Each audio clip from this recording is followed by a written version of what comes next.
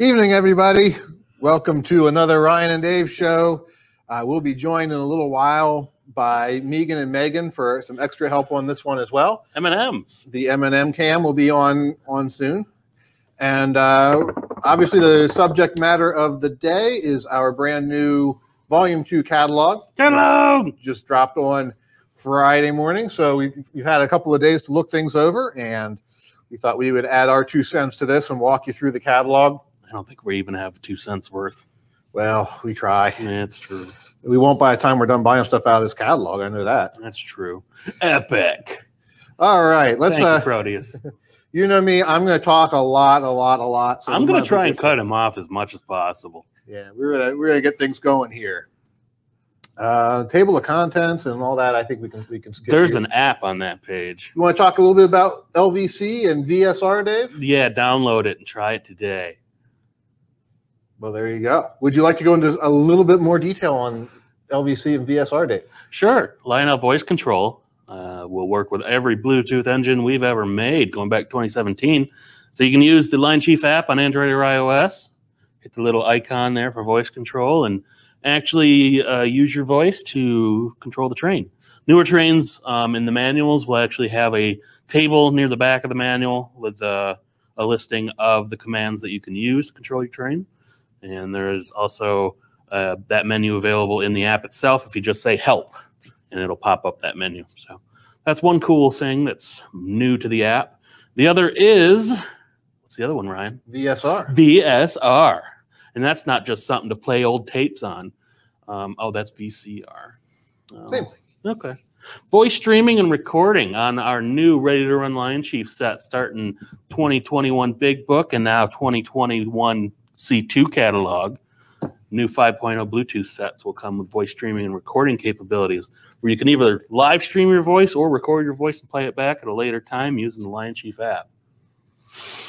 Cool stuff. Yeah, and you've covered a lot of these on previous uh, episodes, including some demos with Dave sessions. So if Yeah. you're on our social media channels, just uh, scroll through the video libraries there, and you can get lots more information and hands-on demonstrations of, of, of all those fun things. So they are some neat things that you can now do with your trains that uh, you couldn't do once before. Cool. All right, let's go on and into the trains themselves here. We're starting with the O scale categories. Choo choo. And uh, as always, our volume two, um, our volume two catalog is primarily a, a higher end scale catalog with a lot of new items uh, added in, in in that world. Why don't we call this the Volume Chew catalog? It's, a good suggestion. You should take that up with marketing. I will. Hey, marketing. She's probably not going to answer me till after the show. Yeah. Okay, so first up in the catalog, we've got an all new steam locomotive. This one Oh, has uh, right. gotten a little bit of, uh, of buzz already out there. What Uh, about Woody? Oh my gosh, Dave, you are in good form today. I will stop. We've got uh, this is a 210 O, a Ryan. 210 A decapod. Mm-hmm. Tell them a little bit more, Dave. Yeah. This one, people might know it from Strasburg, Pennsylvania, Mm-hmm. where you can go and actually ride on it. Or behind it, or in Well, front of it. you know, around it. Mhm. But this is the only steam engine in the country still in revenue freight service. Isn't that right, Ryan?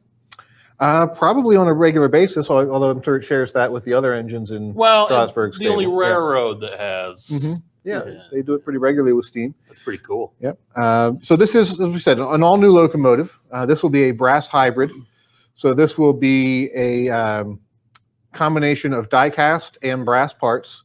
We're tooling an all new die cast uh, frame for this locomotive, as well as the cab and some other key parts, uh, so that you have the precision and performance that comes from a die cast machine uh, tooled locomotive, along with all the great legacy features that you've come to expect from uh, our current line of legacy engines. Yep. And then shrouded in a, a handcrafted brass boiler with lots of hand done details and uh, just, you know, the nine, all, all, all decked out to the nine. So you get the best of a fine scale brass model with the performance and reliability of a Lionel Legacy steam locomotive.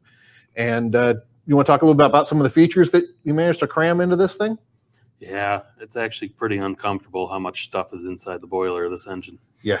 Because even though it's a Decapod at 210, it's a pretty small engine, isn't it, Ryan? It really is. This is uh, not as small as the 440s we did, but uh, smaller than the light Mikado for sure. Right, right. I mean, it's even close to their consolidation. hmm I would compare it to.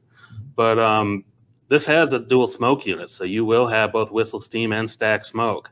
And this comes with the new LCP3 Legacy board, so you get the full Legacy rail sounds um, in the tender as well, and you have bicolor marker lights on the front and the tender where applicable, and a bunch of lights and just metal and just a bunch of cool stuff, man. Yep.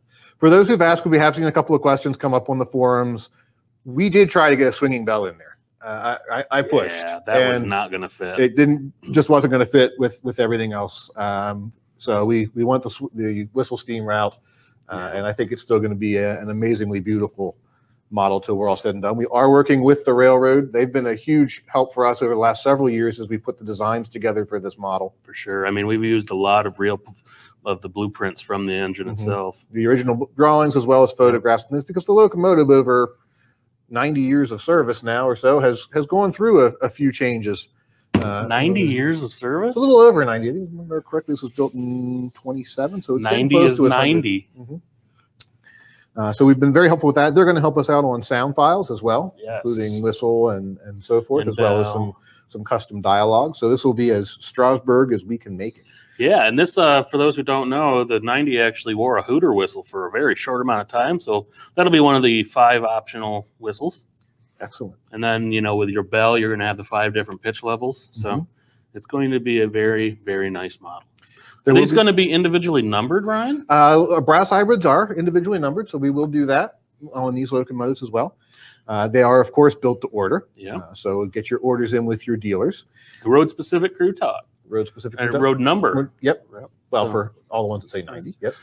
and we will for the other ones as well. No, we'll do it for all of these Yep. 210Os.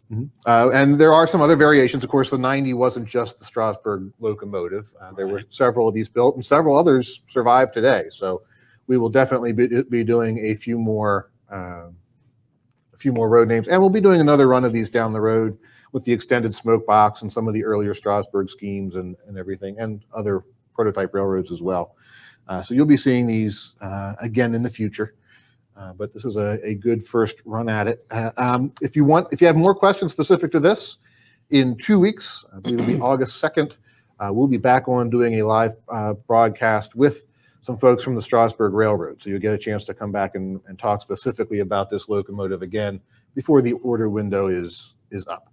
So definitely uh, stay tuned for that. I just had a really cool idea. Uh-huh. Uh, you know how we have the aux 3 key available on the cab 2 remote? Yep. Put the ghost whistle on that. Well, it's a good thing your audio guy sitting right here and just got a ghostly look on his face uh, because More now work I, for you, but more engines for them. because now I think that's going to have to happen. That's a pretty cool idea. Yeah. Bam. See, that's why you tune into the Ryan and Dave show and do these live things. Real time We, ideas. we get things done When he comes with up ideas, we just ignore it. But you know, as as you should. Yeah. Okay. Well, you can't have 90 without something for it to pull. passenger So cars. We've got some passenger cars here. Oh yeah. Um, Some of these look like new to us tooling, right? very new to us tooling, but uh, tooling that's been around before. Um, Mhm. we, as, as some I'm sure know from our announcement last week, we have acquired some tooling from MTH. Uh, this is some of that tooling. Uh, we've made some upgrades to the cars uh, here and there to im- improve uh, their lighting performance and so forth.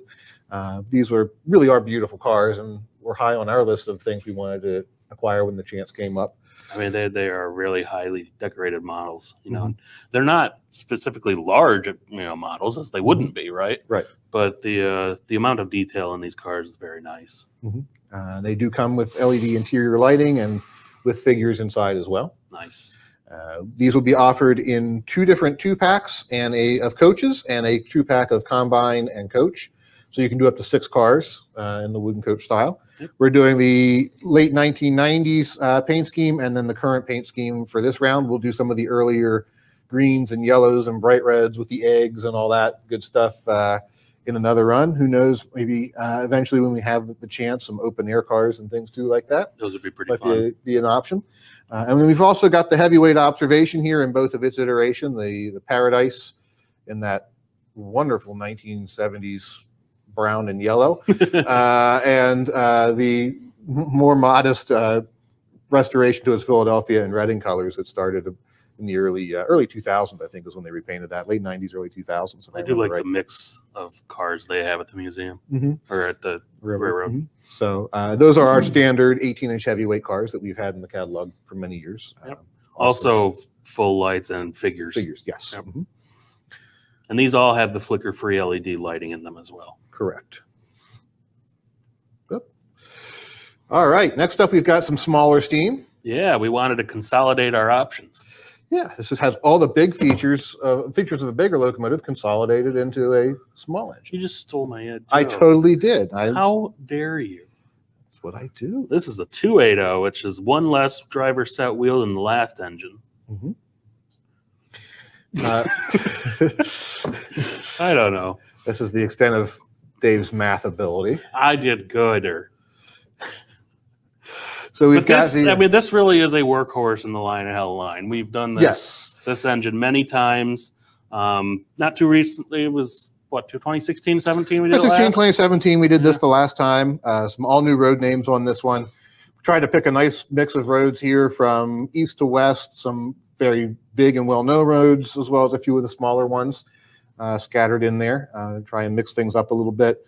But uh, pretty much every railroad at one point or another in their history had a consolidation. And while they all had their own unique uh, look to them, uh, we've done what we can here with some sim- smaller details to make things a little bit more customized and uh, really, really nice engines. Good, simple power for those with smaller layouts or big layouts, and you just want a nice, lower cost legacy steam engine. There's a pigeon outside. He's mocking me.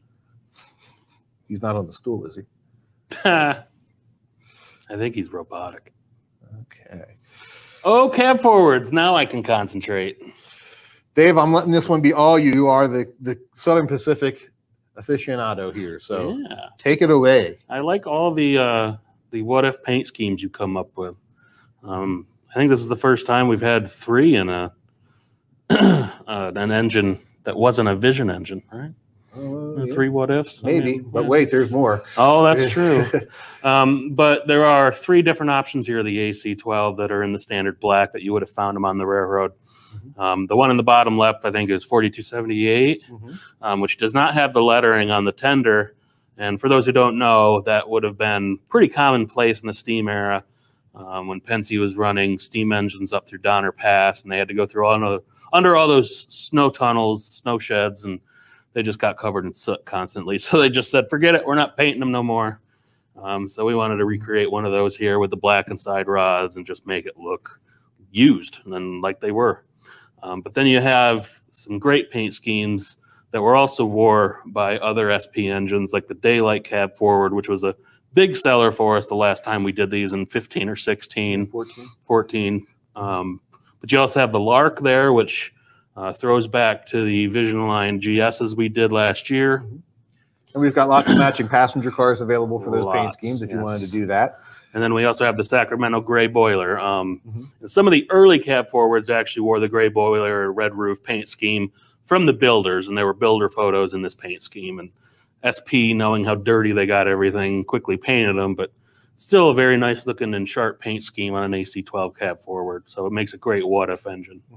Yeah, the, the Daylight Cab Forward was kind of the fantasy engine that started off the streak of fantasy engines here. It, it did surprisingly well. Uh, the first round that we did in, in 2014 had the Southern Pacific Lines tender lettering, if I remember correctly. And so we changed that up with the, the later post 42 uh, large Southern Pacific lettering on this, this version. So, right. so if you missed the first round, you've got another shot at it here. And if you got the first round, well, now you have a chance to get another one and double head them. yeah, that would be double daylight. Mhm. That All makes right. sense in my head.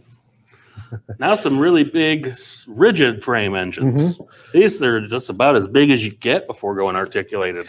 Yeah, these engines definitely fall into that what were they thinking uh, category. But more they, wheels, more power. Mhm. but they they were actually worked surprisingly well for the Union Pacific, Mm. uh, and so they they kept these on the roster for a long time. Uh, and we've done a variety of prototypical and not so prototypical paint schemes here as well.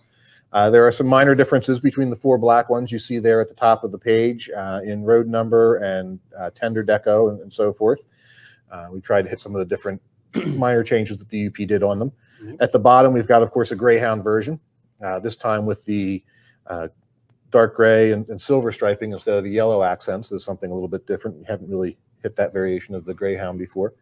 Uh, these have some pretty cool sound effects. These had a, a third cylinder inboard of, of the frame. Yeah, that And- gives you six chuffs per revolution. So we have six chuck per Revolution on here. Of course, you've got stack smoke and whistle steam as well.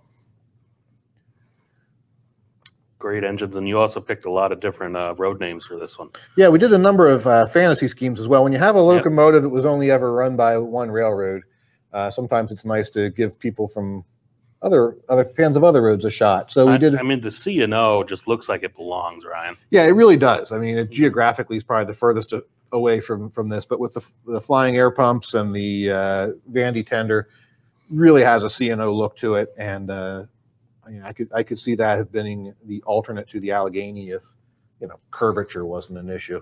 Yeah, yeah. Not that these have any problems with curvature. Oh, 72.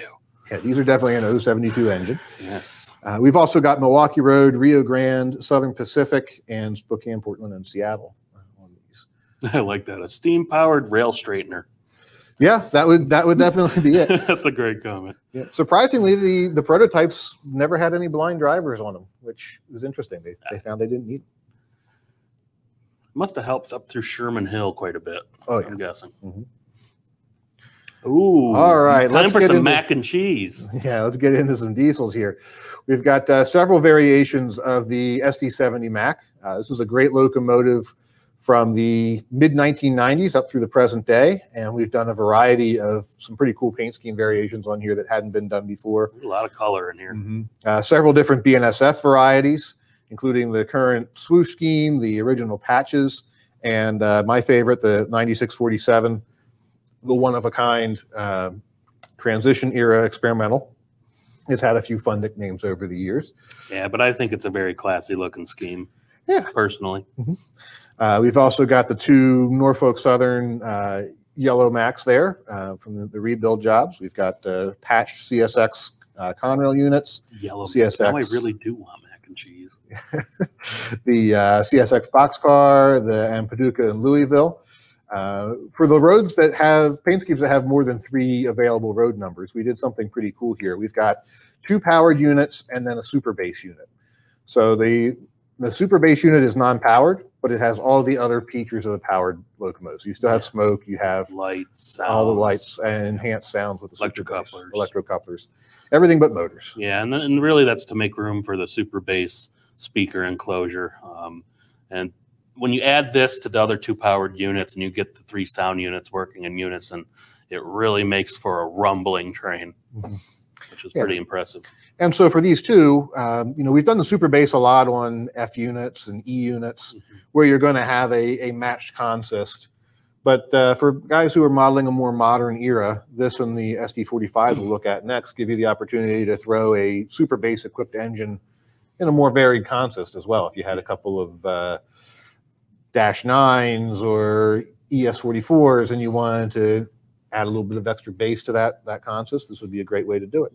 I will say that um, the operation of these when in Bluetooth mode is going to be a little different than um, the ABA sets that we do.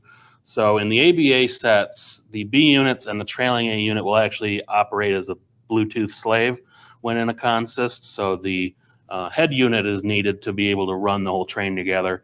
These are actually going to be programmed as Bluetooth uh, separate engines. So you're really only going to be able to control one of these engines at a time using Bluetooth. So to take, say, all three units and build it into a train, um, you're going to need to use probably the legacy remote to do so. Makes sense. All right. As I hinted at, we've got SD45s next up here in the catalog. These are uh, great locomotives. We've got lots of different detailing options tooled into these different uh, handbrake locations, truck side frames, noses, roof details. These have the kinematic pilots. Kinematic pilots, so they look great on uh, on on tighter curves. Yep.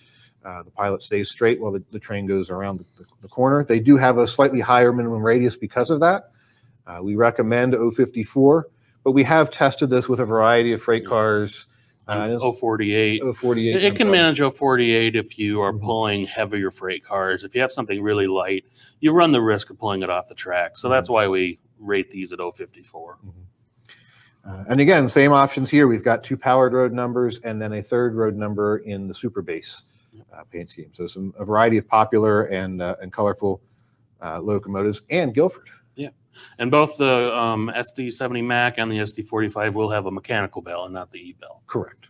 And as well as five different horn options, like on uh, all of our new legacy engines. Mm-hmm.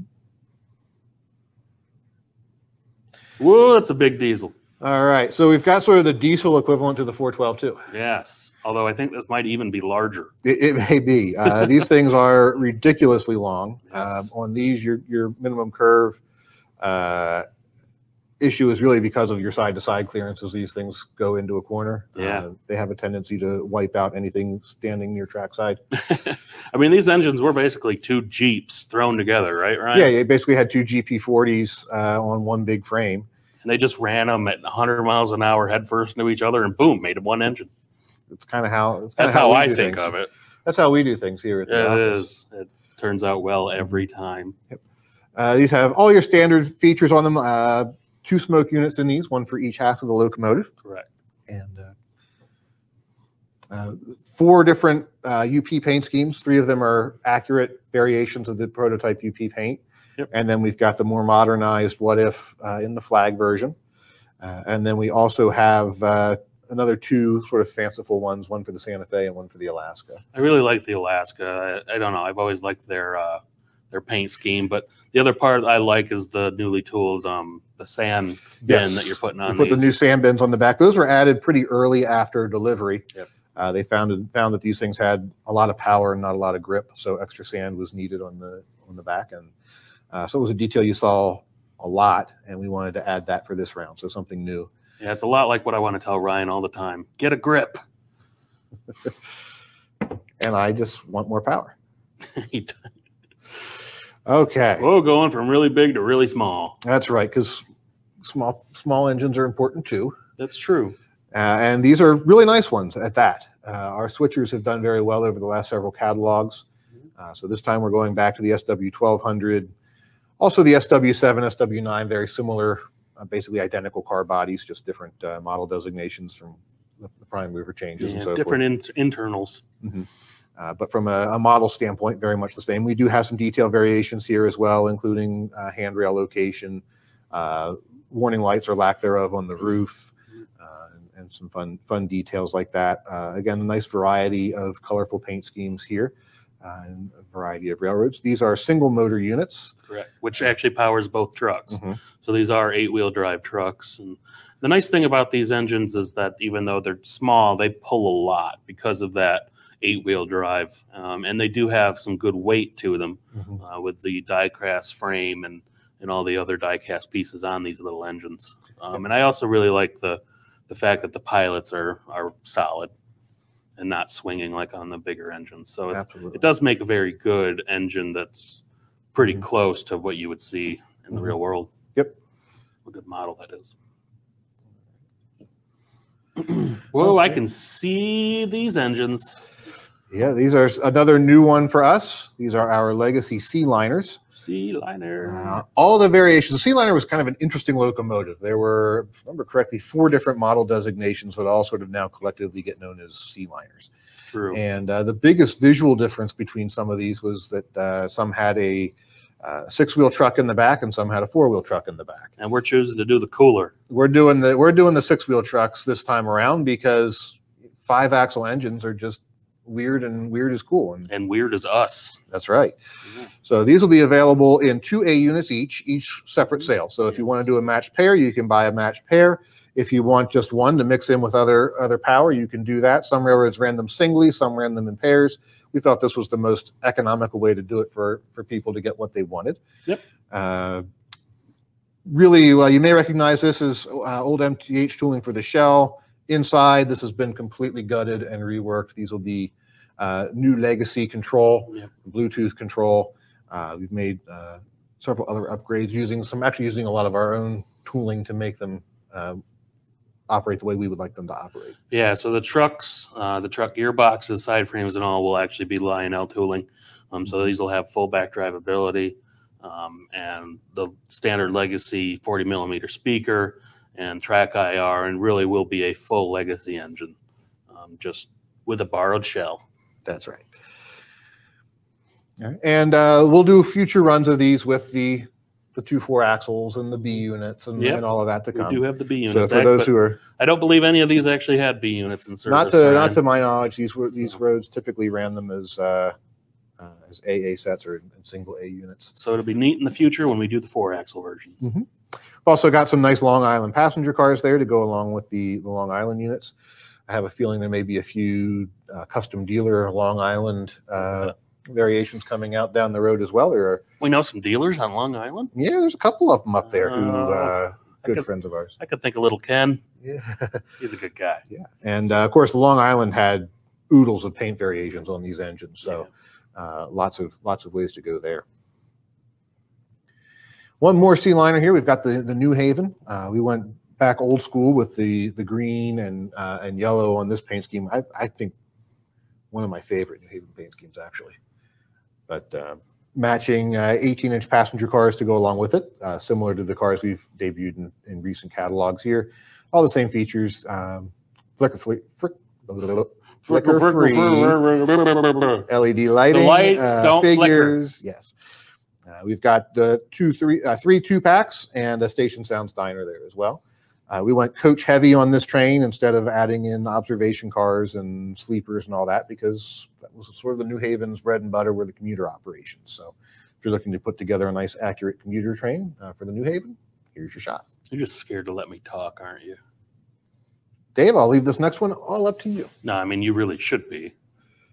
This looks like a set with a with an engine and some coal cars. Bam! I'm done. I'm going home. Peace.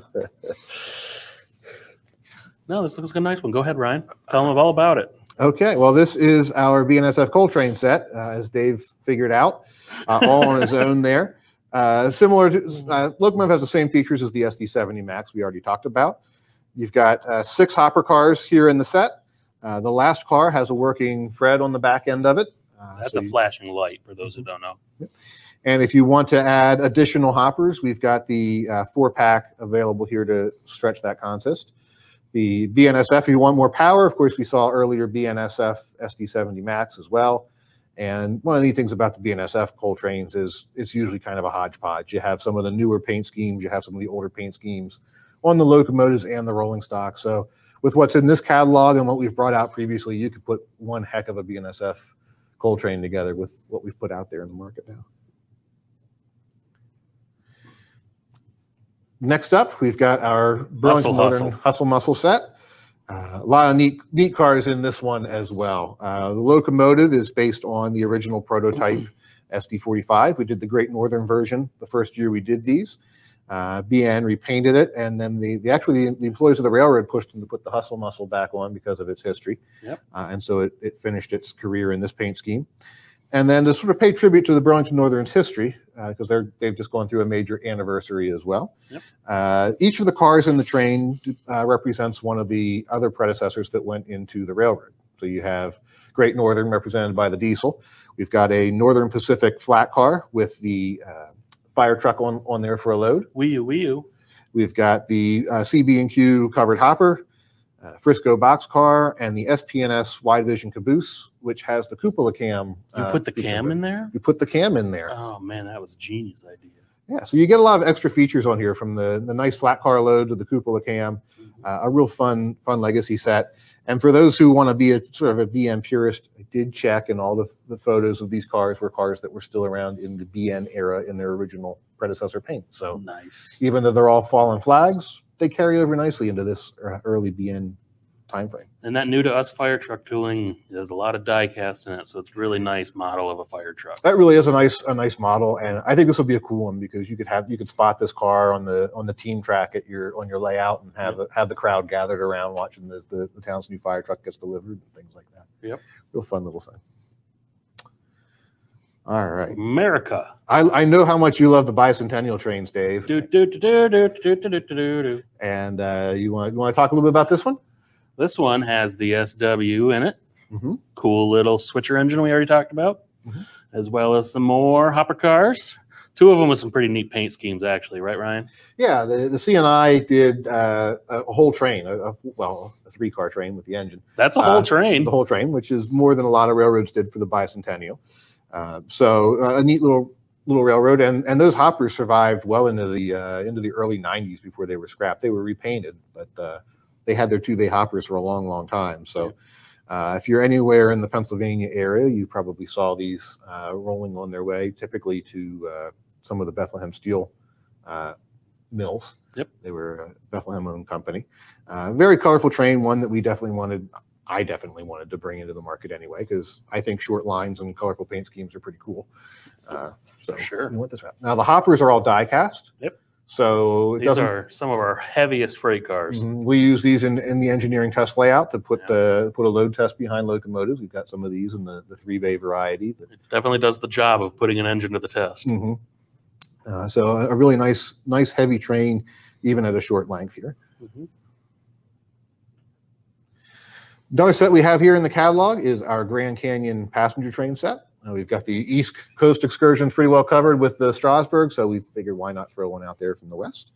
Uh, many of you may have been out there and seen the canyon or ridden the train there. It's uh, certainly a great way to do it. We've got one of our legacy consolidations here.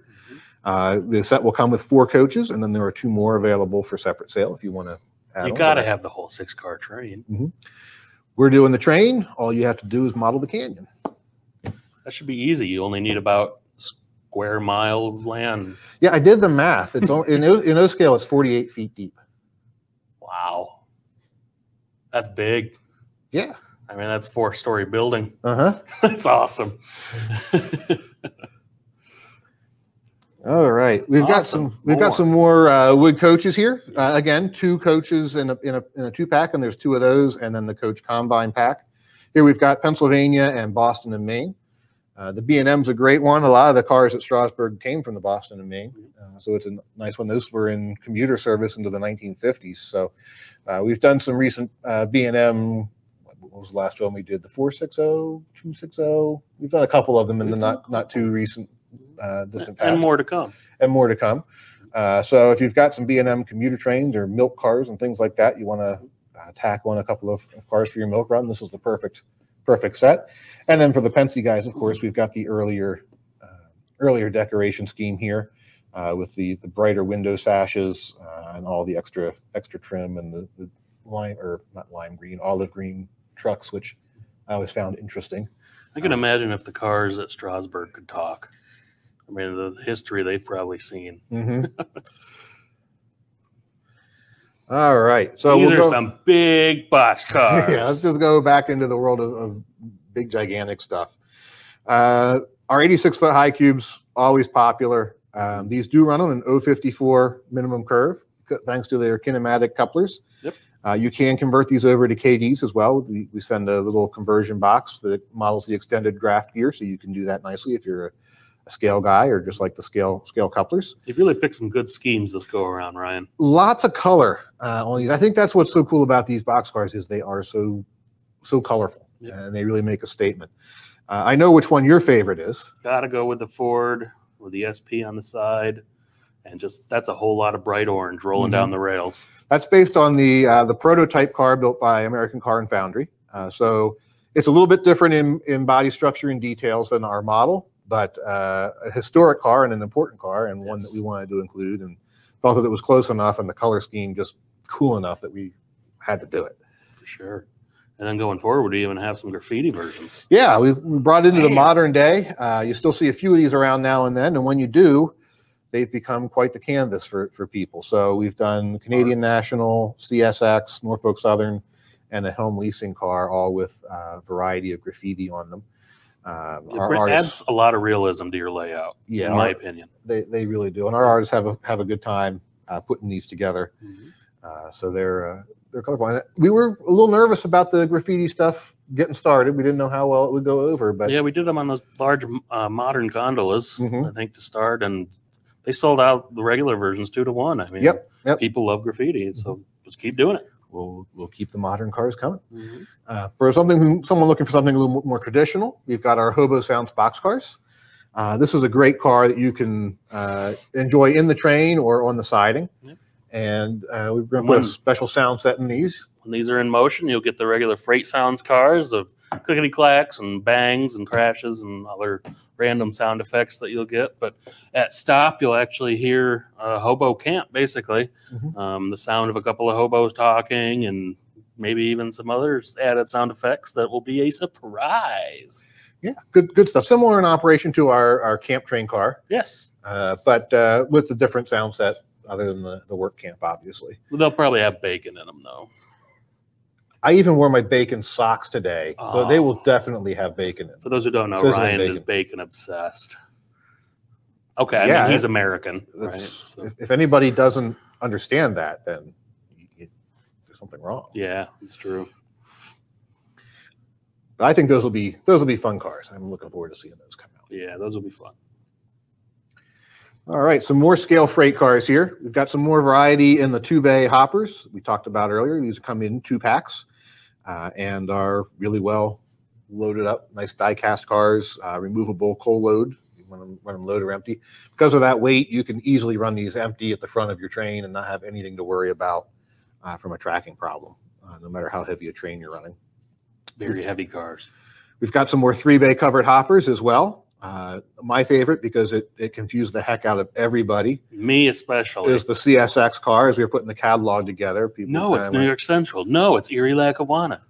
what is it, Ryan? So this is an original Erie Lackawanna car. Started out life like the EL car you see below it.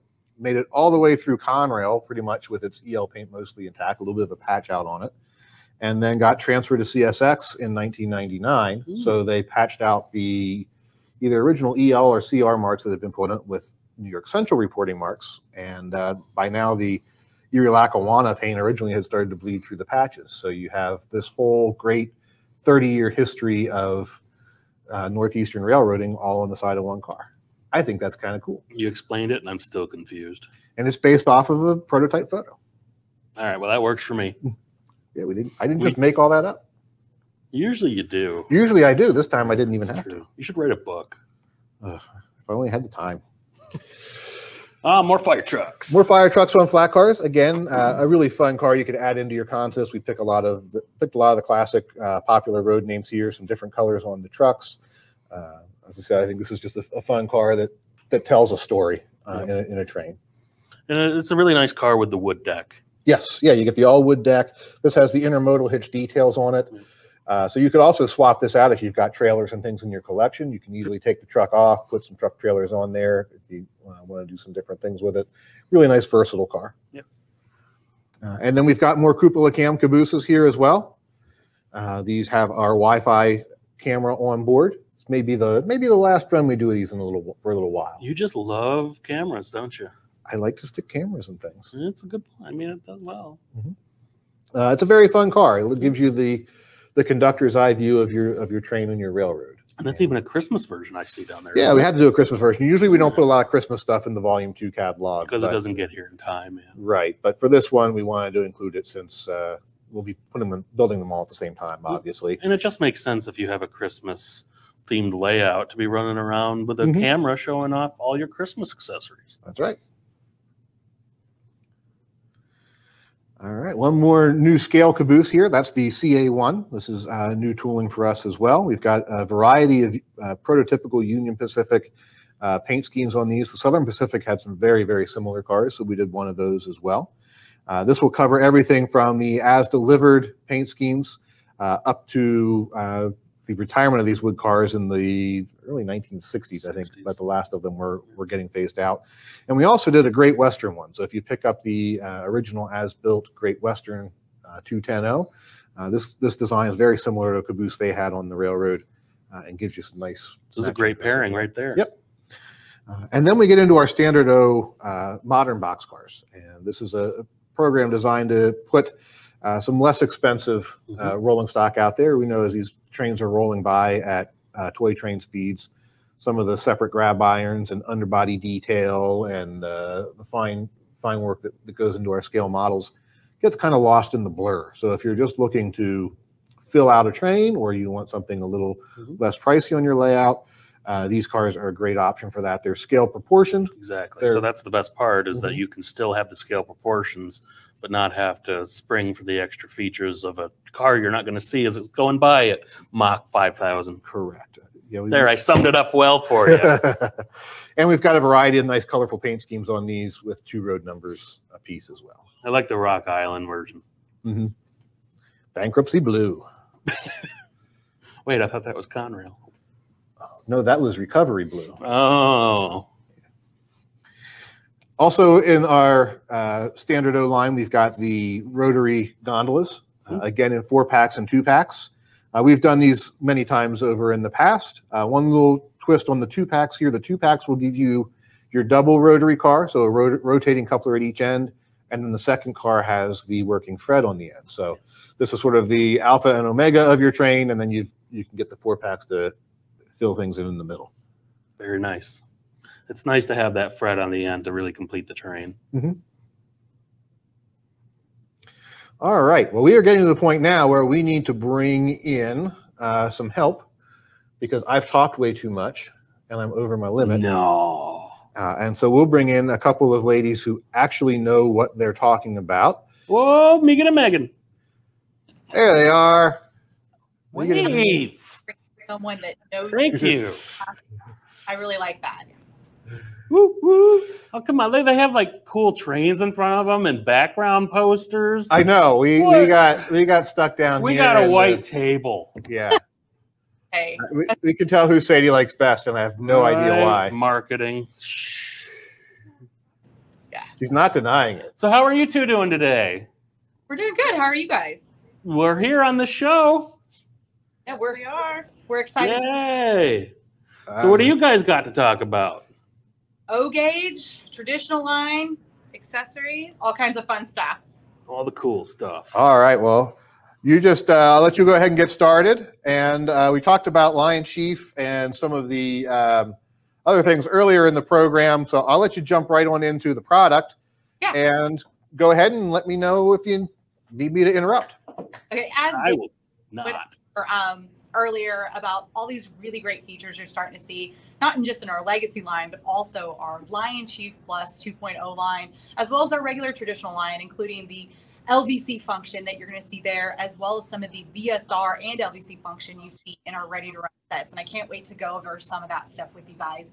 But first, I want to dive into our Lion Chief Plus 2.0. Um, this is something we've had out uh, for a couple catalogs now, and we've seen really great response to it. It's kind of our advanced version of Lion Chief Plus. Um, but we are definitely um, bringing you a couple new engines that we're really excited to talk about. Um, first one is is going to be the Hudson. Um, this was last uh, promoted back in uh, 2018, but you're going to see some of the road names we actually haven't been seen to since like 2015, 2016. So we kind of brought some of your classic um, Hudson road names, NYC, Santa Fe, um, as well as your your classic Lionel lines. Um, we also threw in a fictional scheme with the Union Pacific Greyhound, just to give you a little bit of a different paint scheme than what you've seen previously from us. But again, this is um, what's great about our Lion Chief Plus 2.0 line is it's um, not just Bluetooth equipped, but it's also going to allow you to run through your legacy system, your TMCC, and its command control. So it really gives you everything you need without having to get that larger engine that's a legacy based engine. So it can do smaller curves, um, better for tighter layouts. So just a really great option with some extra detail um, past that ready to run set line, but still kind of that traditional size. Um, so again, great features in this Hudson that you're going to see um, that you've seen in our previous Hudsons, but just kind of upped the ante on the uh, the different things you can find on your um, your app with the LVC function. Um, so that one's representing our Steam for this catalog. Um, really excited about this new one. This um, our diesel representation is going to be our um, our Genesis, our Amtrak Genesis. This is actually newly acquired tooling. Um, I know Ryan went over some stuff earlier that some of the MTH tooling we just acquired, but this is going to be our first time doing this particular engine in a traditional line. Um, so we have worked really closely with um, our friends at Amtrak and getting really great um, art direction, Pantone direction, trying to give you the most accurate look to your, your Genesis. I have like just kind of what we call um, our engineering sample here. You're going to see it is um, a traditional size, but it's got nice weight to it. But we have jumped up the features to an LC 2.0. Um, so where you haven't seen before, it's going to actually have fan-driven smoke. It's going to have electrocouplers. It's going to have the lighting package as well as the amazing uh, Bluetooth capability that you see in our LC 2.0 um, uh, Plus 2.0 engines. Um, so I'm really excited to see how this comes out. We're using different deco schemes, like we're using a phase three, phase um, phase four, phase five, and then of course to go back with the anniversary year. We have um, one of them featured in the catalog, the very first deco scheme that was brought out by Amtrak to celebrate their 50th anniversary. Um, and we actually are getting ready to do another launch this fall with some of the other deco schemes that they're going to be bringing to life. That's really exciting. Yeah, no, I'm really excited because it's kind of fresh, new um, tooling that we can kind of put our spin. And again, we're working really hard with Amtrak to make sure that we give you something um, really special in these new uh, 50th anniversary deco schemes. But again, Lion Chief Plus 2.0. It can be ran Bluetooth. It can also be ran on your TMCC um, command control or legacy um, different outfits. So, so super excited. And this is not where we're going to end with these, not just with the new launch of what we've got coming up possibly this fall, but also you're going to see some different things to go back with these engines in future catalogs. So this is just the beginning of utilizing this really great tooling. Um, and I'm really excited to see how you guys, how you guys like it. Thanks, Megan. Before we move on to the next one, um, can you hold up the sample again? I'm gonna we're gonna try and maximize your your camera a little bit more so people can can get a look at it. This is our our early engineering sample of the locomotive. Uh, yeah, you're not anywhere near the camera. Hang on, give us one second for Sadie to oh. pull it up.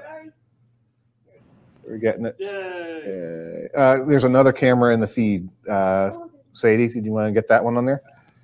Lots of cameras to choose from. Oh, there yeah, we there we go. Yeah. Now we're we're good on that. Now, as Megan said earlier, this is just the engineering prototype, so you're going to see just a gray engine with a, a brass horn detail on the roof there. Um, but this does have all the LC 2.0 features with electrocouplers, uh, smoke, lighting, and it's really just going to be a cool new addition to our line, isn't it, Ryan? Absolutely. I mean, now you'll be able to run this engine on a lot of different control systems instead of just uh, one. Exactly. That uh, that dying control system. Um, so we've got, uh, and if you're interested in the Amtrak things, uh, next week, next Tuesday, we'll be on with Matt Donnelly from Amtrak on Train World TV Tuesday evening. So uh, be sure to check that out. There'll be a lot of manufacturers on there, uh, there and uh, we may have some other images to show you if we get approvals uh, in time for, for the next round of these. And I know we've had questions about passenger cars. Uh, and yeah, I think there's a pretty good chance you'll see some uh, some Amfleet cars to go with these in the not too distant future also. Yep, and I also think we're probably going to come out with some uh, scale legacy versions of more Amtrak engines coming forward. Possibility. Yeah. I oh, am I giving away too much? That's my job, Dave. now they're all going to think they're getting Chargers or something lane that we can kind of mess with. But I'm really excited about the first um, another deco scheme that just got launched, I believe in May, and it's the Midnight Blue um, number 100 um, Amtrak deco uh, anniversary deco scheme. So I've already got art ready for that. And I'm super excited. I just got to get clear Amtrak, and I can't wait for you guys to see it. All right. All right. So let's move on into the traditional world then, Megan. Yeah jump into the ready to run set world. So as we've always say, our ready to run sets come with everything you need in the box to get started. All you have to do is add some batteries to your remote. But if you don't have the batteries, you can get onto your mobile device and upload the free app that allows you to train. Um, this is a Army inspired um, diesel train. We've done a couple, uh, one a couple years ago that more like a Fort Knox kind of steam engine. But kind of want to take more of a modern color scheme on this and have some really fun cars that um, it's gonna be really fun to add to your layout or your um, military inspired um, that you already have. Um, but this particular set is going to have both the LVC and VSR function. So I'm really excited to see how this comes to life. But we've got a um, RS3 um, locomotive with amazing detail um, that kind of represents the Army. You can see a close-up shot in the catalog. Then you go to kind of a uh, kind of the uh, stock car that's going to have some really cool like inserts that show the ammunition. So we call it the ammunition stock car. Then we have the rocket launcher car, which those are always the fun ones here. I think Oh, Dave, sure. you, I think you tend to want to like point those at people and try to shoot rockets at people, but um, but it's a Specifically, if it's Ryan. car. Um, and then, of course, we've got the security caboose, which actually has a um, rotating um, searchlight at the end um, with LED illumination. So, again, just two really great fun cars in this set. Um, but, and I just love the overall look of the color scheme. It's a very, very great. gr- The green is going to be, I think, stunning. It's going to look really great on this set. Um, but we also brought a separate cell flat car that has two additional of those rockets that you can use on the launching car. So you can keep, you know, enjoying some fun if you lose one or if you want to shoot multiple, it makes it fun. Um, but this should be a really great set for anyone that's got that military um, inspired layout or just has a love for the military. I think what's really cool is that there's going to be some additional accessories that you're going to see not only on this page but on future pages. Um, we have the uh, military surplus building, kind of like an Army Navy type store. What's really cool about this three-story building is it's got a fire escape on the back. Um, we've also repositioned some of the lighting in there so the lighting is more evenly distributed throughout the building. Um, really great addition to your layout, and again, kind of the color schemes definitely match what Megan's doing in her sets. So expect those greens and those grays. Um, very realistic to what you might see in the stores today. Really excited about it. We always do really, our military stuff always does well. Always does. I actually think that RS3 would work great with some of our um, World War II cars that we've had out in the past, our Made in the USA um, line. So again, I think there's so many things we've done both pre-war, you know, post-war, kind of like that we've done from Lionel that you could actually pull, use this engine to pull those those items with. So I can just imagine Ryan down on the floor with little army men just attacking each other, and I'm over there like using the voice streaming to get him, Ryan, and you're. I We know I, do a video like that. It's it's a shame we've lost our inner children. Have we though? No, we haven't. No, we haven't. I, I could see you. Uh, I think we've actually done this before with a rocket launcher, Dave, where you wanted more speed, more more power to the rocket launcher. So, Always more power to the rocket launcher.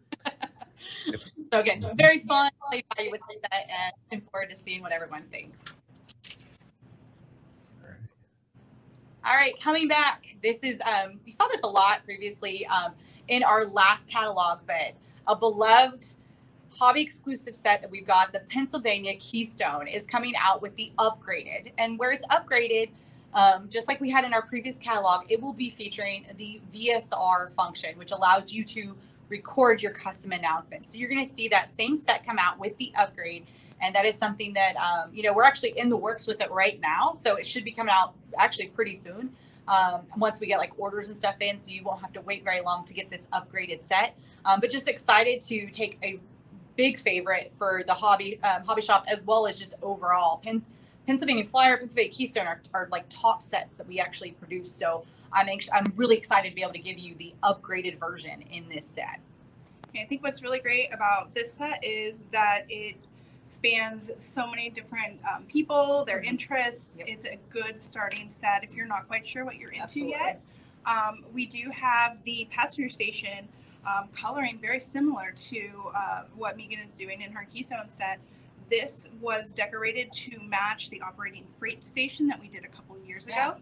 Um, it's got the really cool Lionel signage on it. You'll actually see this building is massive. Yeah. It is so much bigger um, than some of the previous passenger stations that we've done before.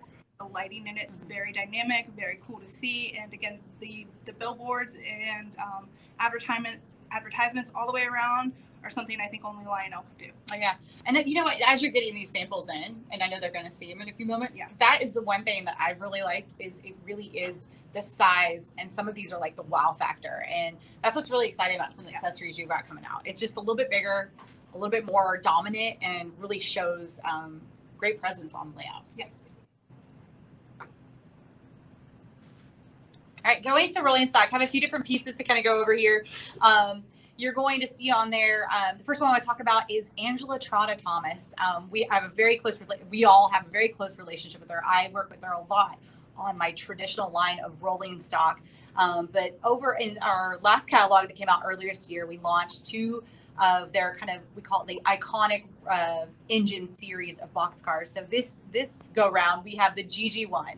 Um, previously we had a Hudson and the Santa Fe Super Chief, and now we decided to bring like that next kind of iconic engine, which is that GG1 with a stunning green um, roof and ends. But this is something that um, she does amazing work. And the beautiful part of this, she does it custom for the box car. So I know you guys maybe watched other podcasts with her or anything you've have seen.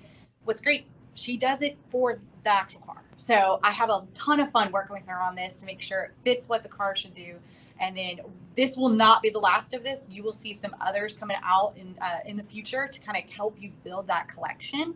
And um, I I think this is actually one of my favorites because of the coloring.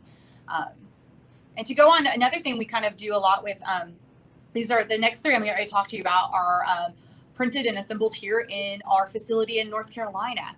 And that is going to be some of our anniversary series cars. So next year, there are two big ones we wanted to really pinpoint, and they're both celebrating 160th.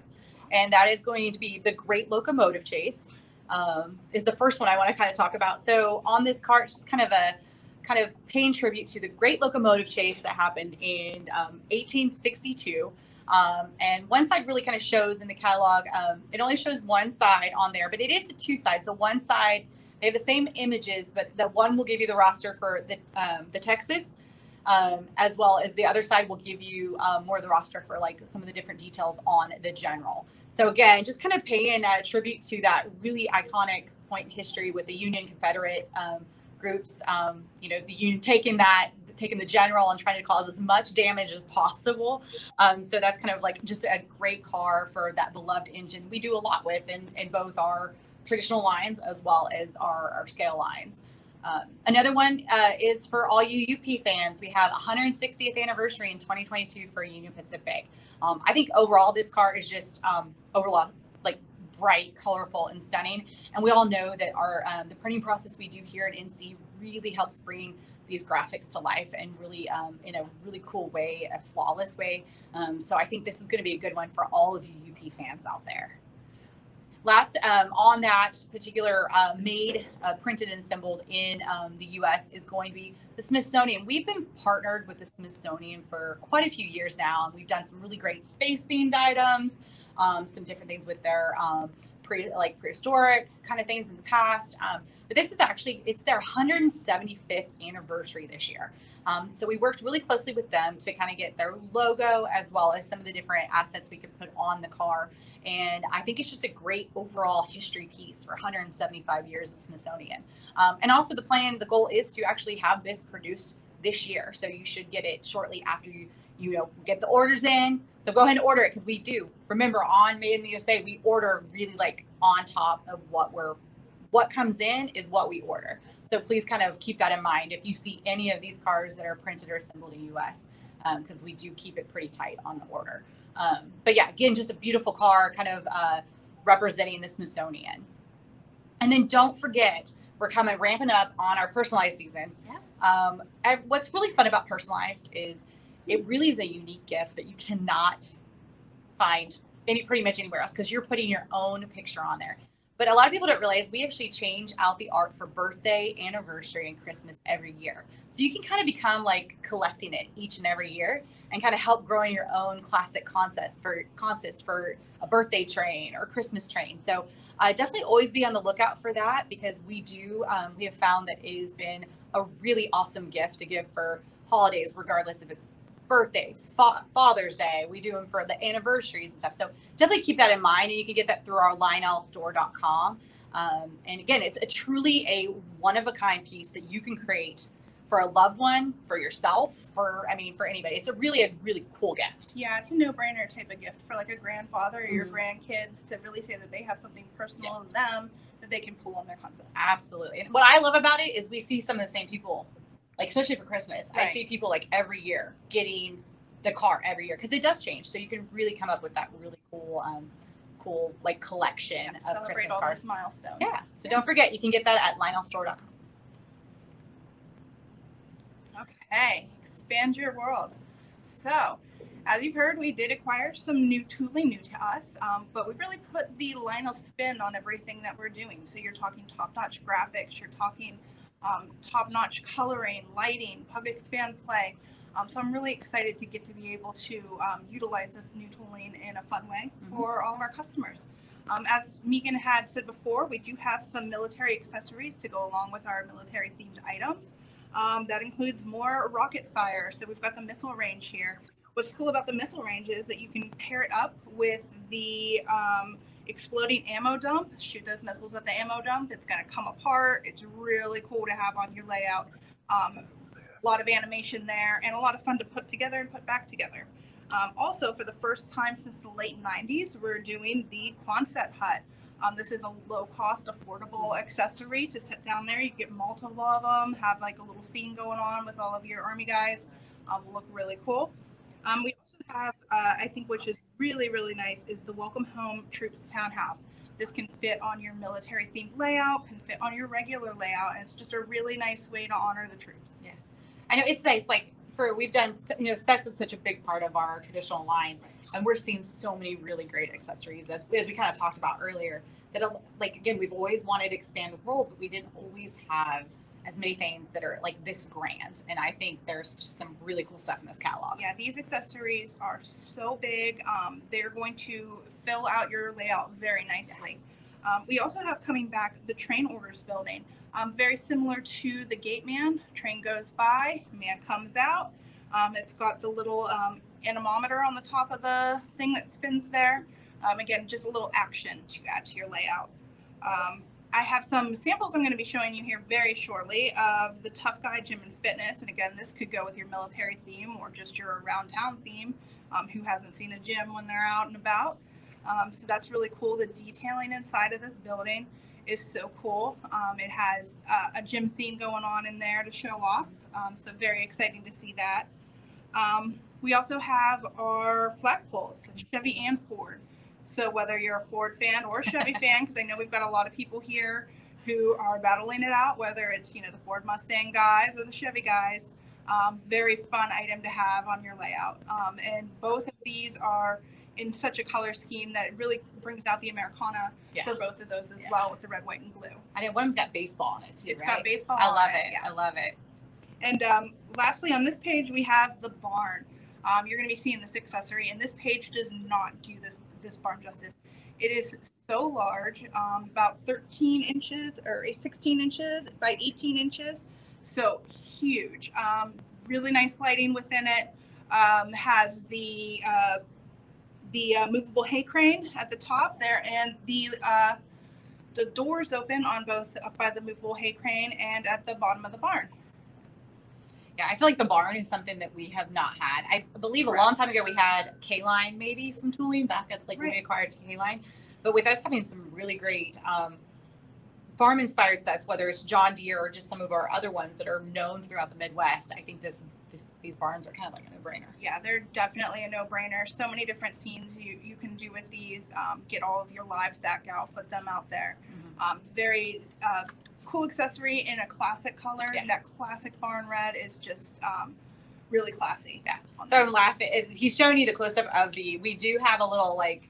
Anytime we put Chevy and Ford in a catalog, we like we do have kind of like a bet who's going to have the highest orders, and so it actually we'll have to do that again Yeah. with this catalog. yeah, between these two flagpoles and things you're going to see from the previous catalog, like the water towers and the um, service stations, right now they're pretty much neck and neck. I think they are. We had Yeah. we had like a we, we did we had like a little like okay I wonder which one's going to come higher, and I do. I feel like there is a definite like it's pretty even because I know It's noticed that with my even box this time, yes. this time too. Um, so. so keep it up for all those Ford and Chevy fans. We'd love to, to see the rivalry and uh, Yeah. really love to have it expressed on your layouts Yeah. as well. We love the passion. Yes. Fourth better. Uh, our friend Harry Henning has asked for some um, some Mopar uh, accessories to, to complement all these. So we'll we'll we'll take that up uh, with the licensing gurus, Harry, and uh, Oh, maybe yeah. a maybe a good service center would probably be the right place to start with with a Dodge. Yeah, I mean, when it comes to cars, you really kind of want to dodge that one.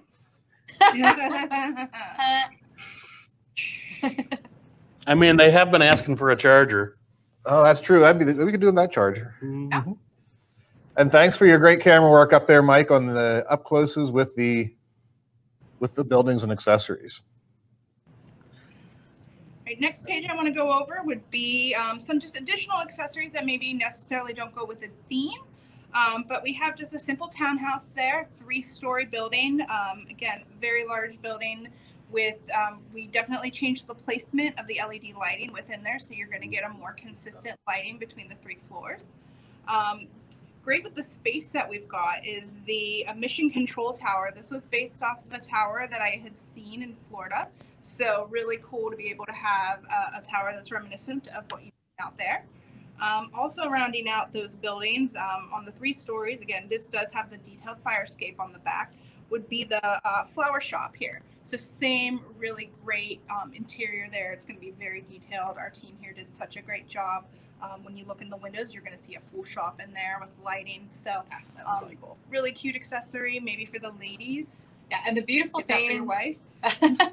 hey, I mean, a lot of the wives do the They accessory do. part, so Yeah, this like is to, good for them to help accessorize. Um, but the one thing I want to mention about the uh, the tower that we've got there, the control tower, is we did have the space launch set that was in our our first catalog earlier this year, and that set comes with a piece of uh, plug, expand, play lock-on track. So this is a perfect accessory if you ordered that set to give you that automatic accessory to go back with it. So again, that track comes already with your set. All I have to do is plug it in, makes it real easy. and you're up and running. Absolutely. Um, next, I'm going to show off. I'm going to have Mike uh, do a close-up of the Christmas barn. Um, this is the same barn that was on the other page, but decorated up for Christmas. Like Ryan said, it's not very often that you'll see a Christmas item in a C2 catalog, but this was one that I couldn't not do. And what's great about this is it is going to be shipping here very soon, so you should see this before Christmas this year. Um, we have um, we have the movable door here, and all of the Santa's reindeer are represented. on the Love that. That's my favorite. It's like I can see like you almost put them in the windows, and like each deer is like by the window. Is their Oh, like little stall? for sure. So it's very very cool. there's some red LEDs around it. Have Rudolph hanging out. Be Yep. really cool. That would be cute. Yeah. So cute. Um, next, I'm actually going to do a show and tell with you on the burning house, show you how to work it. Um, this is an item that we've been wanting to do for quite some time. We have a really cool smoke unit that we want to show off. So I'm going to come over and uh, show you how to work it real quick.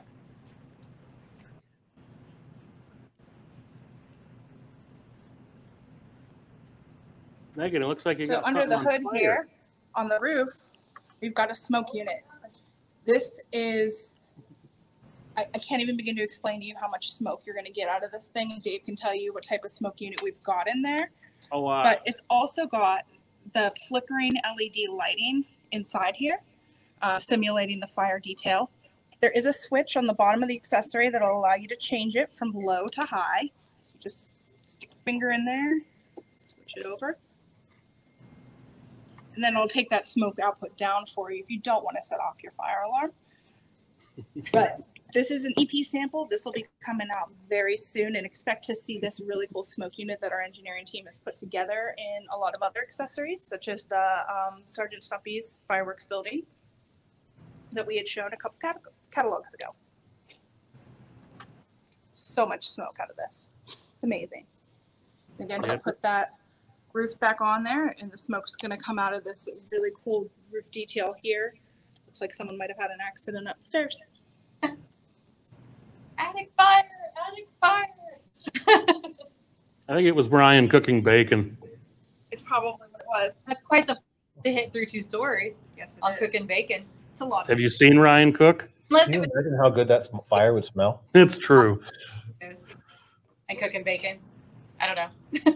Yeah, this is going to be a showstopper Yeah, it's- on any layout. Um, so much smoke. Every time that we turn it on here, we get people walking by going, "Oh, look at all that output there." Yeah. So it is going to be very robust. And again, if you're not a fan of having that much smoke wisping out, we do have the low setting as well. Very easy to get to, very easy to fill uh, with that smoke um, unit being on the second story. So you just pop that roof right off, and uh, you're able to fill it there. That's very, very cool. Very cool. You can also run the accessory with the smoke off completely and still have the flickering LED effect as well. Very nice.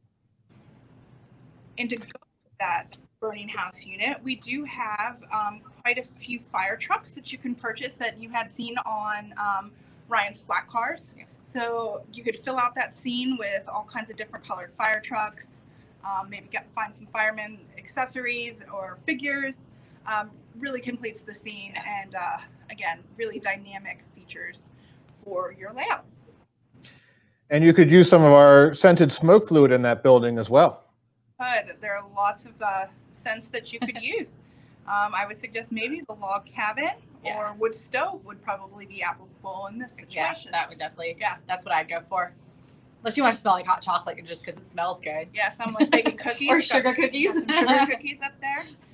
Guys, we should get bacon. Maybe, maybe next year we'll do another uh, one of those contests to see which. Dix, what what one this year? The one that won this year was the log cabin. Oh yeah, so that Um, they oh, I want bacon. you want bacon. Next time, Dave, you have to vote harder. We're gonna have like ten accounts. Okay. just start campaigning now. Yeah. So also we have the um, Amtrak through the years billboards. Um, I was really lucky to work with Amtrak, just as Megan was and Ryan has been, to get a lot of advertisements throughout the 50 really cool. years of Amtrak's history. So these are all official um, images from their archives. Uh, they they have helped me pick out some really uh, aesthetically pleasing ones. So you've got, you know, go 900 miles on one tank of gas, or maybe your next flight should be a train, which I think is really fun because it's part of their history. Oh yeah, absolutely. And as you mentioned, Amtrak's really great to work with. They are so like they're detail oriented, but they also really give us great direction. And again, they want us to come out with an amazing product that represents them, and that's why I think we like working with them so much. Right, they're giving us high resolution files. They're making sure that everything's Yeah. represented correctly. They're making sure that the colors are the right colors for Amtrak. So it's really exciting to get to mm-hmm. work with a licensor that hands on to Oh, make yeah. sure that the products are correct. Yep. No, perfect. Um, rounding out the accessories, we have the uh, through truss bridge kit. This is a replacement from the um, previous uh, truss bridge. Uh, this is a kit, very easy to assemble, um, comes in a little more compact packaging, and a reduction in price as well. So that always helps when uh, talking about building your layout. We also have the vintage inspired space billboards. So I was really inspired last year from Megan's space set. And some of the things that kept coming up in our research was any type of company that could find any reason to um, talk about space with their brand, Oh yeah. they did it, relevant or not. Um, so you've got, you know, no matter the distance, you've got a moving company. Um, you've got the blast off for savings at Mattress Emporium. They really came up with so many cool ads Yeah. um, back during the space race that it made sense to come up with some of our own Yeah. to put on a layout that maybe is inspired by space um, out of this world Yeah. savings. So really fun to to have those and um, was really excited to, for Trip uh, and our creative team to come up with these amazing, um, hilarious Yeah. ads to add to the fun of space. Yeah, they do such a good job of being creative, and as we work with them, sometimes you know back and forth, we come up with different things together, and it's really fun to have that collaboration here in the building. So um, as you'll see from this catalog and catalogs to come, um, we're really committed to making you guys really great accessories. I've got so many exciting things planned for for next year and beyond. Um, I can't even begin to tell you, and maybe I'll uh, be sneaking some hints in future Ryan and Dave shows on what I've been thinking about. Um, a lot of operating accessories are coming. A lot of um, really cool new fun buildings are coming, and some things you haven't seen before from Lionel. So um, I'm really excited to do. Yeah, no, lots of fun stuff coming up, not just now, but in the future. Yeah. So this is just the beginning of it. So we got lots of new stuff coming up. So Yeah. Yeah, Megan, what is the year 2022 going to be? It's the unofficial year of accessories. I'm getting your Damn. Unofficial. I'm the only one who's dubbing it that, but it's gonna stick. I've got a lot of good things planned. All right. Well, thank you both. We're going to continue on into the land of American Flyer. Uh, so we'll let you get back to back to work. Thanks so much. Ew. Bye, guys. All right, David. We always save the best for last. So let's Flyer. let's get into uh, American Flyer. This is still a big year for American Flyer. This the 75th anniversary of American Flyer S gauge trains, and so we're carrying over the celebration from the first uh, volume of the year with some additional great things, sort of in the more traditional uh, American Flyer line. Yeah, I think you've picked a couple of great uh, trains here, train sets here that uh, carry a lot of good paint schemes with them, Ryan. Yeah. So the uh, the Texas and Pacific set, I really like this set. It's got a lot of color. Also has a lot of features uh, on board, and we really wanted to create a nice deluxe, um, more premier uh, traditional set. Yeah. So you've got the Flyer Chief uh, GP7. We've got the operating log dump car, a covered hopper, a Rail Sounds box car, uh, a tank car, and lighted caboose. And uh, of course, the Rail Sounds box car plays uh, the freight sounds, so it will give you the clickety clacks and, and all the, the sounds in motion. Really adds a nice level of uh, realism to your train. Uh, you've got the operating log dump car there. You've got the Flyer Chief diesel. So a lot of lot of fun going on in in this set. Yeah, the Flyer Chief engines are a really nice touch too for the, the people that are into more traditional Gilbert sized engines. Um, these do come with the Lion Chief remote and can also be run conventionally as well, Yep. Or with the app. or with the Bluetooth app. Uh, we also have another set here, uh, paying tribute to the Clinchfield. Uh, this is one of those little railroads that I don't think gets a lot of love and attention, but the more I study it, the more I find it interesting. Mhm. Uh, nice paint schemes, simple, not too uh, audacious, but just a, a nice, well-run railroad. So we've got the Geep again, three hoppers, uh, boxcar, and lighted caboose here in this set. Very nice looking sharp paint scheme, Ryan. Mhm. More Geeps. More Geeps. Uh, again, uh, same features as we've done on these in the past. Uh, four new road names: Burlington Northern, Chessie, Lehigh Valley, and the Wabash. Um, Dave, you've already talked. You know, a lot, a lot of great features on these. The speed control on these over the old uh, Gilbert versions is so greatly improved. It's also nice having electric coupler control from the remote or the app. Mhm. And uh, also great sounds, Lion Chief R, uh, RC sound system. And then we've got a great variety of freight cars here. We've got the two bay covered hopper uh, in five different paint schemes, two road numbers available for each, uh, so you can expand your fleet. Uh, we've got some more box cars. Uh, again, a lot of different colorful paint schemes here um, on on these road names. Box cars always seem to be one of our, our best selling uh, freight cars in S gauge. Also, some really fun paint schemes on the three dome tank car. I like the uh, the Frack King oil myself. I wonder who came up with that. I don't know. Someone was pretty punny on that one. And then uh, a lot of fun operating cars. Uh, we've got the uh, log dump car. We saw one in the set. We've got uh, three different separate sale versions here as well. The uh, inset graphics you see there are on the top of the car. Uh, so if, you, if you're not carrying a, a log load, you, you'll be able to see see that on top. It makes a Um, nice addition to it. I mean, usually flat cars don't have much area for graphics on them. So to Mhm. be able to put them on top like that is a nice touch to really bring more color and life to your consist. Yeah. And these will work with the uh, activation track, which is available separately. You can either use the new fast track version uh, or the old traditional version. They will operate off of both. And they do come with the uh, dump bin, right? They, Ryan? yes, they do come with. They don't come with the track, but they do come with the dump bin. Correct. And we've also got uh, the uh, patriotic sounds box car. This is like our Christmas music box car, but it plays different patriotic sounds, and it's good to leave on your layout all year long. Uh, as long as you're feeling, you know, in the America spirit, which should be all year long. all the time. Yep. Uh, and then one that I, I think is kind of fun and hopefully will migrate up to the O gauge world down the road here is our, our two car set for the Hobo and Bull. Uh, this plays off of the walking brakeman car. One car has the Hobo on the running boards, the other has the Bull or the, the railroad police officer uh, in hot pursuit. So this will be a, uh, a neat little set. The, the figures walk back and forth along the roof of the car of the car and uh, play Mhm. nice together. And they just have to watch out for tunnel portals. Yeah, tunnel portals could be an issue on these. Uh, another operating car, we've got the uh, ramp car. Uh, these are all in our T-Rex oil uh, collection. We've got the, the ramp car is neat. It, uh, again, on the operating track, the platform pivots to the side and drops so that the uh, oil truck can be offloaded.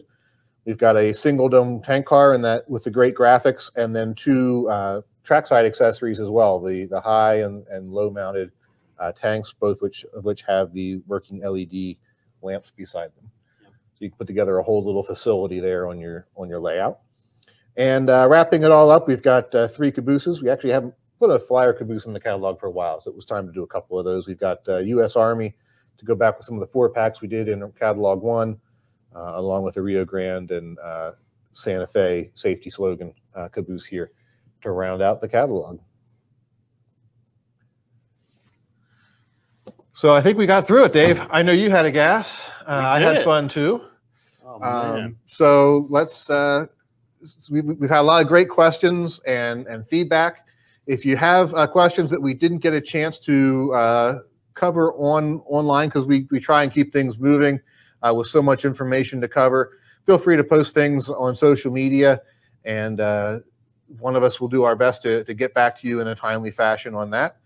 As I mentioned, we will be on. Uh, on social media again next Tuesday for our Amtrak event uh, on the 27th. And then the week after, we have an event with the Strasburg uh, to, to go over number 90 in more detail and also just catch up with them and all the great things that they are doing now that uh, the railroad, like so many places, is back up and running again. And you have the opportunity to go out and enjoy some trains. Yep, and then at some point I'll be doing another demos with Dave episode. Uh, we have the two 1010 and the Veranda turbine samples to, to look at, so that'll be an exciting episode whenever we get it going. yeah, we've had a lot of things come into the office over the last couple of uh, weeks and months. It's very busy time for us this time of year uh, in terms of current production things uh, and, and shipping. So we're, we're ramping up for the, the big part of the year. The volume two catalog uh, printed copies will be arriving to everybody. We hope uh, sometime over the next week, starting to arrive to you the, for this this week and, and coming weeks. Uh, the order window is open through the beginning of August. Uh, check with your favorite dealer. Every one of them has their own sort of deadline so that they can compile things and get their orders into us. So you still have plenty of time to peruse the catalog, um, ask questions, jot down ideas, prioritize your your list, and then see your dealer and get those those orders in. And we'll be back to talk to you again in the near future. Until then, happy railroading, everybody. Woo woo!